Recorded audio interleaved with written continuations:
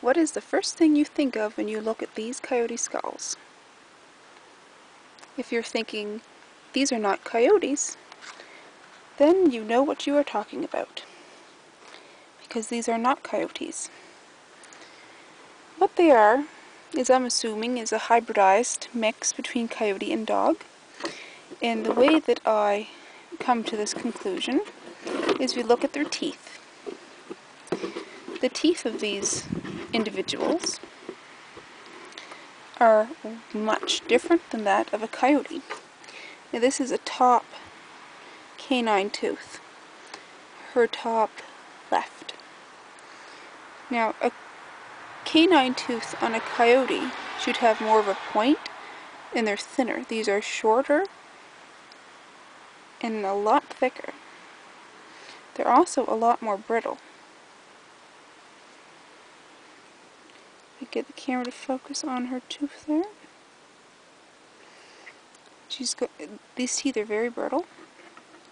Another thing, one of the first things I noticed about her after she was fleshed out was the massive damage to this tooth here. She has massive tooth decay. The tooth had a cavity that went in there and then it went right into the bone and it was actually literally eating out her skull. Now, this hole here is part of that decay. This is very seldom seen in coyotes or any wild dog.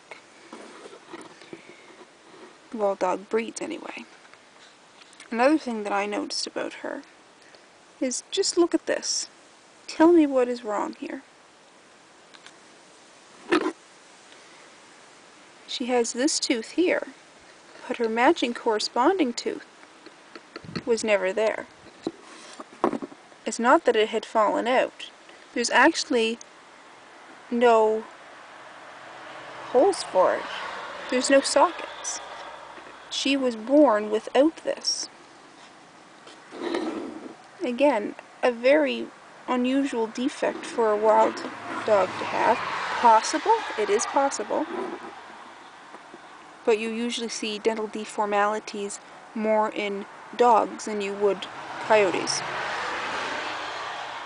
Now she came with her tooth shattered like this, and you can see that she does have a cavity up the center of that tooth. So it wasn't that whoever caught her wanted the tooth and broke it off with pliers. It broke off in the wild and then started a cavity. And there is some smoothing of that tooth. I would say that she would have been an older female because if you look at the browning on these teeth, this is from years of tartar and plaque buildup. And also, I mean, this hole is, it's massive she would have had really bad pain in her mouth. But another thing that tells you that, that she is not pure coyote is her muzzle. She has a shorter muzzle. Her muzzle is short, and her muzzle is also wider. Now another thing that these two individuals had when I got them is this area right here was just huge with muscle. The muscle on these two animals' skulls was just beyond anything I had ever seen on a coyote. They were very strong individuals. Another thing, if if I had a coyote skull with me right now, I'd show you. But it's she's very flat on her stop here. She doesn't have a coyote has more of a upwards turn, especially in here but she's very flat. She's very flat on the muzzle. Now, if we look at this boy, he's pretty similar to her. I think they may have been related. He's longer in the muzzle, so he's got more length, but he is still wide, and he had a lot more muscle than she had. He was massive. But also very similar dental problems. He also had massive tooth decay on this tooth right here. see if the camera will pick him up. Yeah, you can see there that that tooth was actually sheared off.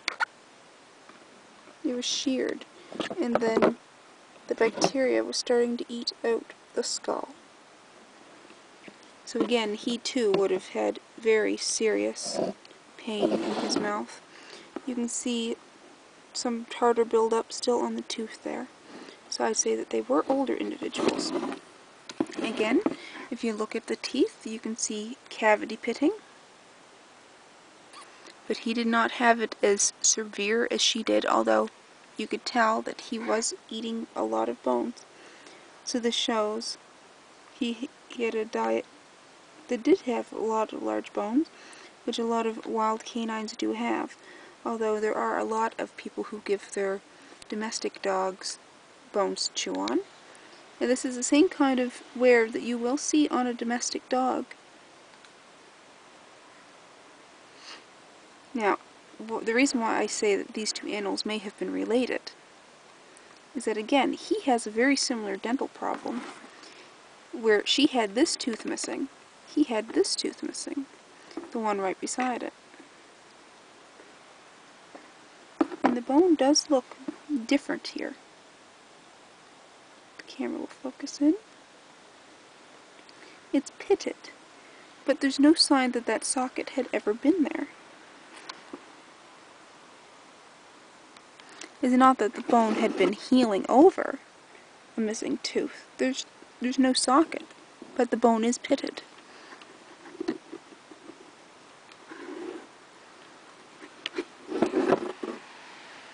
See the cavity in this one?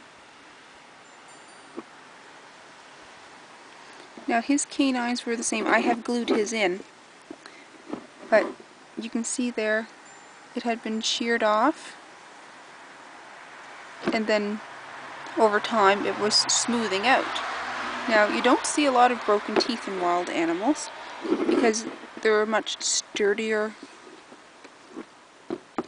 They're much sturdier. Their their teeth are not as small or as weak as the more domestics. You can see right here where that bone was just wearing on those teeth. And a lot of people who think that it's great to feed their dogs bones, that their dogs need bones, they should take a look at this. Because this is how your dog's teeth are going to be. One of my own dogs that I had had years ago, his canines were little stumps because he ate a lot of bones. So it's not really good to give your dogs bones. You can get calcium supplements for their calcium. They don't have to chew bones. If if they're chewers, if they want something to chew on, get them an appropriately sized rawhide to chew on. See that those teeth were sheared off too, with cavities in them.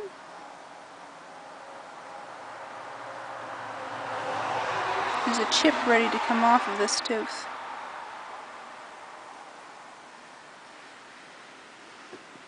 Trying to get the camera to focus on that. Seems to want to focus more on the box than on him, but yeah, they hit, the bones were very weak here.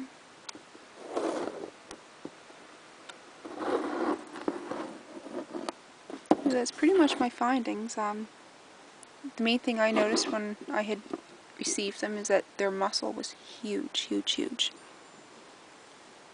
But then I was looking at their teeth, and their teeth do not did not correspond and do not correspond with that of what I have been seeing in wilder specimens. This up here is also much more pronounced. It's a much thicker ridge. Much taller ridge. Hers not so much, but you look at it and it looks like she's been I don't know, it just looks like her bones are pitted. And this is not from my disinfecting and cleaning them. Her bones were like that when I skinned her. When I took all of her muscle off, her bones were very, very coarse. So I'm not sure exactly what was wrong with these individuals and their problems, but as you can see, they are not Not pure coyote.